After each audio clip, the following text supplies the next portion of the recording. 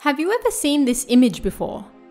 If you hang around places that share 2chan content, then chances are good you've probably seen it somewhere before. It has become a favourite on the forums over the years, and it even has its own meme entitled Kawaiiku Sasete Make Me Cute. But where did it come from? Who is it? And why was it made?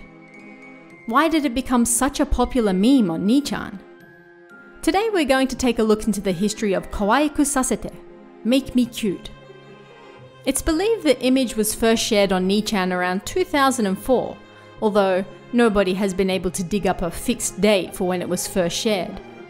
In general, it's referred to as Kawaiiku Sasete, and the text on it translates to If you don't post this image on another board within one hour, something terrible will happen before the year is out. People have actually died by not sharing this image.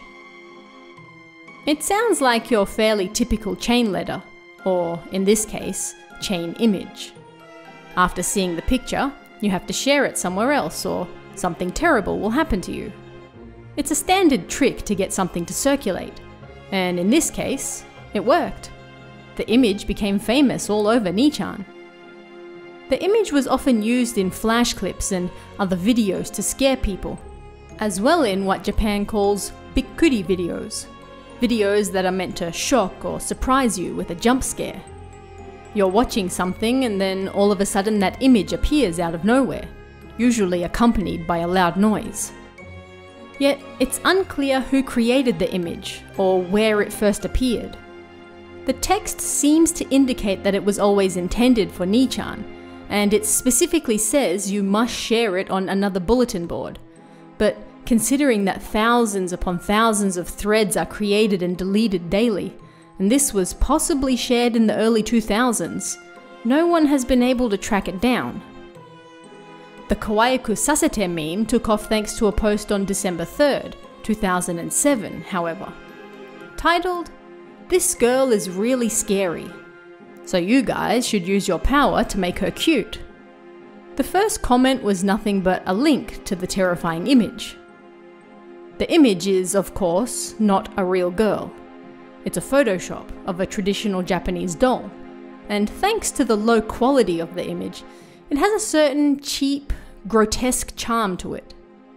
This, of course, resulted in a series of photoshopped images that you would expect to come from 2chan, ranging from kind of cute to even more horrifying than the original.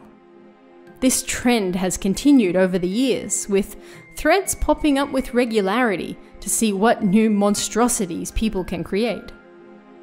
No one has been able to dig up the original, unphotoshopped doll image either.